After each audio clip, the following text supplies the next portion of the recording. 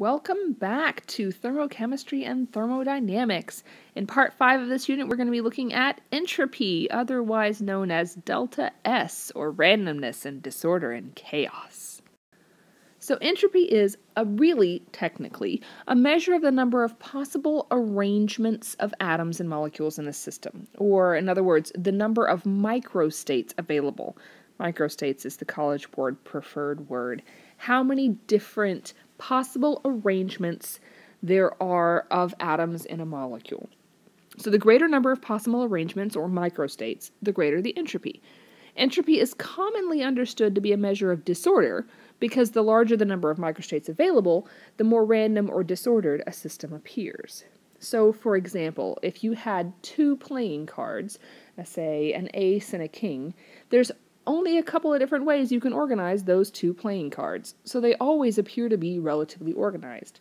But if you had an entire deck of playing cards, there's so many different ways you could have those cards organized that it appears to be more random. So, we're going to talk about several different types of entropy. First of all, the entropy of the universe. You will recall from the second law of thermodynamics that the entropy of the universe is always increasing and the third law of thermodynamics, the entropy of a perfect crystal at 0K is zero. In other words, everything has entropy. So for spontaneous reactions, the universe increases in entropy, and everything has entropy. So the entropy of the universe is a measure of all the entropy going into or out of the system and the surroundings. So the universe is just equal to the surroundings plus the system. So what are the surroundings? Okay, entropy of the surroundings, delta S, S-U-R-R for surroundings, is entropy due to heat, pretty much entropy due to delta H. In an exothermic reaction, heat is released to the surroundings, and therefore the entropy of the surroundings increases. If it's getting heat from the system, the surroundings are becoming more disordered. In an endothermic reaction, heat is absorbed from the surroundings, and therefore the entropy of the surroundings decreases. So, as delta H is negative, surroundings increases. As delta H is positive, surroundings decrease, which gives us a formula. The surroundings is negative delta H over T. That's temperature. So predict the sign of delta S for the following processes carried out at constant temperature and constant pressure. Notice here that the 211 is a product. So this is an exothermic reaction, and delta H is negative 211. Since delta H is negative, S of the surroundings is positive because that heat is being lost to the surroundings, which means the surroundings are gaining the heat. So for the next example, notice that heat is written as a reactant, which means that this is an endothermic reaction taking in heat from the surroundings. So the surroundings are actually going to be losing entropy because they're giving up entropy in the form of heat to the system. Let's look at a couple of examples. From example number 12 above in your notes, calculate delta S of the surroundings at 25 degrees. So earlier, in an earlier video, I think it was number 3, we calculated delta H for this reaction, and we came up with delta H is equal to negative 2600 kilojoules. So for that reaction, we did products minus reactants and we solved for delta H. So here we're looking for delta S of the surroundings. The formula is S of the surroundings is equal to negative delta H over T. So in this case, negative negative 2600 kilojoules over T. Temperature has to be in Kelvin, not Celsius. 298 K so negative, negative 2600 divided by 298 is going to give me positive 8.72 kilojoules per Kelvin. Positive 8.72 kilojoules per Kelvin.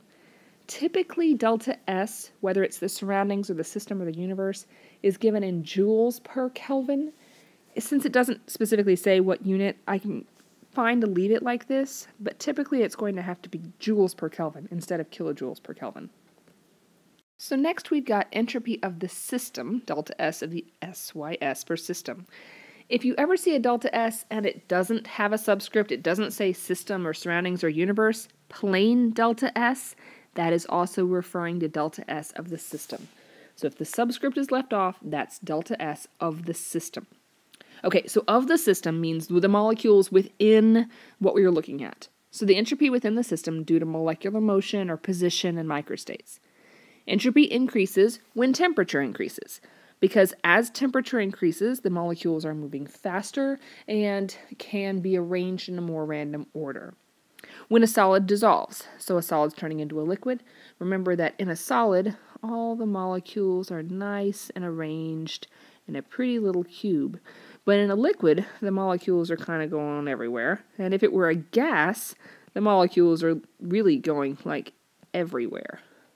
So this is a beaker with a solid in it a beaker with a liquid, and a beaker with a gas, and some of that gas escaped from the beaker because that's what gases do. All right, so then also entropy increases when a substance changes from a solid to a liquid to a gas. So as we go from organized to a little bit less organized to a little bit less organized, then we increase our entropy or if a reaction produces a greater number of gaseous particles, meaning the number of gas particles on the products is greater than the number of gas particles on the reactants. Let's look at a couple of examples. We're going to predict the sign of delta S for the system for the following processes. Here we've got water gas turning into water liquid. Since we've got a gas changing to a liquid, that's going to get more organized, so S of the system is negative. It's positive when it's becoming more disorganized. Next we have four gases plus five gases makes four gases plus six gases.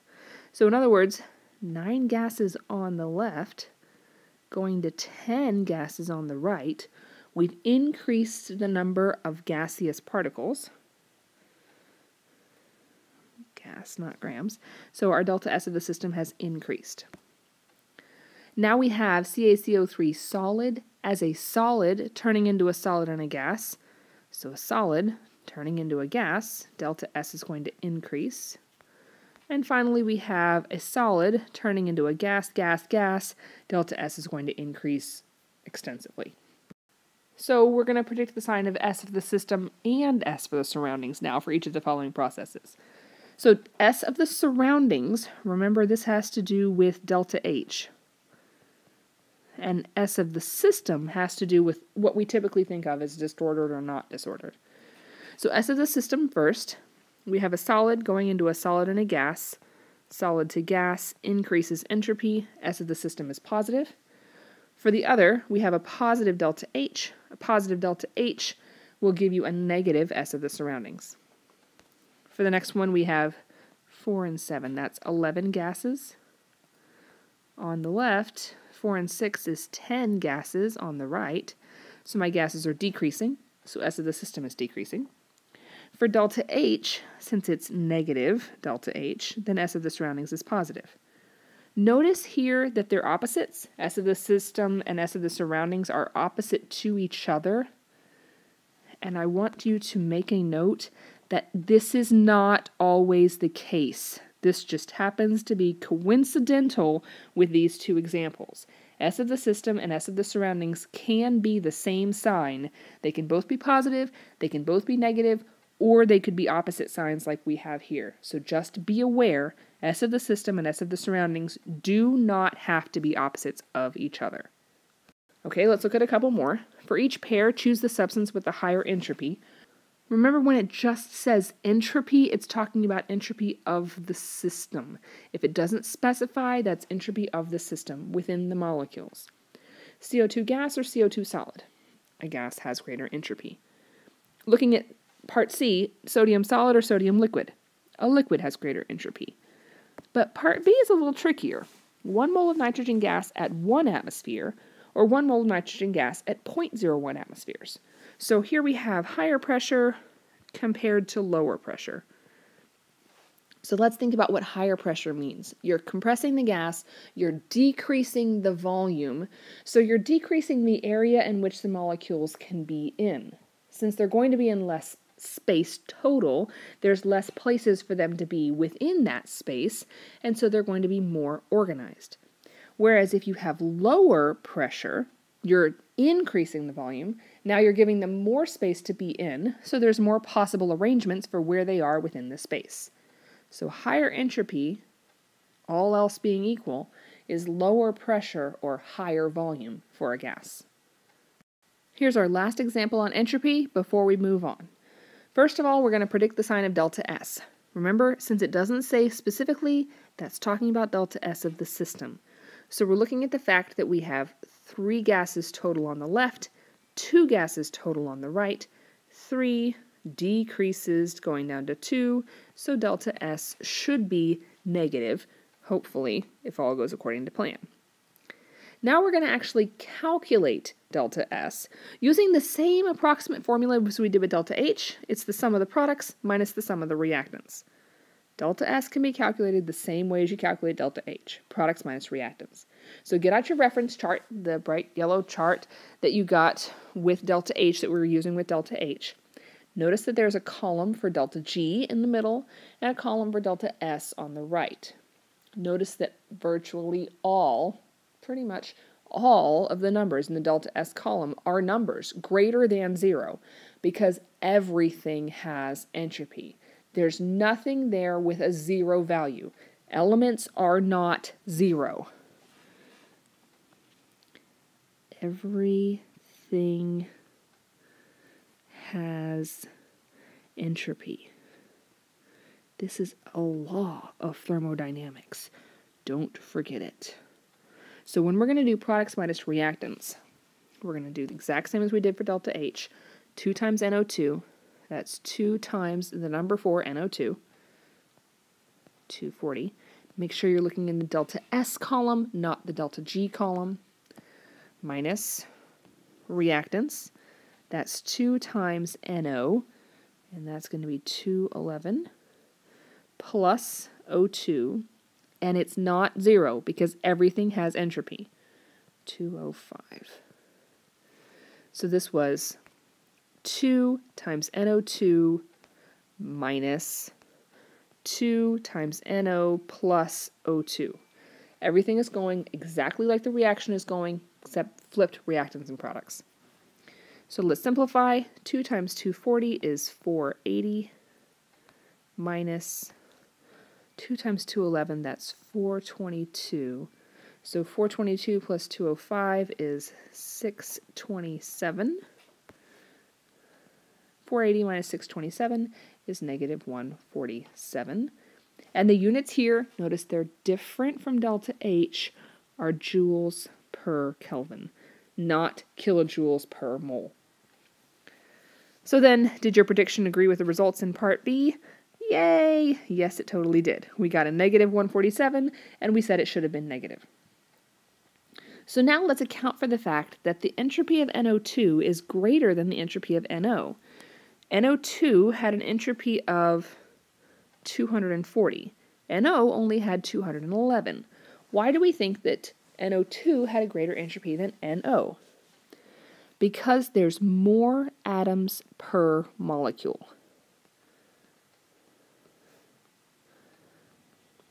Since there's more atoms per molecule, there's more ways to arrange those atoms, or even within, there's more ways to arrange the electrons within the atoms within the molecule.